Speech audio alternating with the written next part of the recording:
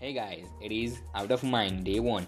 As the old saying goes, those who don't know history are doomed to repeat it. Yes, it is important to know about history, not just the big names and key dates, but the little details that help us better understand about the historic era.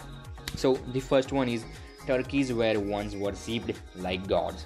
Yes, while the turkey is currently America's favorite part of the Thanksgiving meal, but in 300 BC, these big birds were herded by the Mayan people as vassals of the gods and were honored as such, so much so that they were domesticated to have roles in religious rites.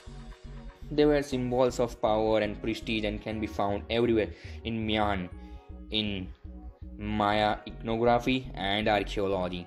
So goes like Paul Revere never actually shouted, The British are coming while everyone knows the story of Revere's famous ride, in which he was said to have warned colonial militia for the approaching of enemy by yelling, "The British are coming." This was actually false. According to the history, the operation was meant to be quiet and stealthy, since British troops were hiding out in the Massachusetts countryside. Also, colonial Americans still considered themselves to be British. Third, and at last, the Olympic used to award medals for art.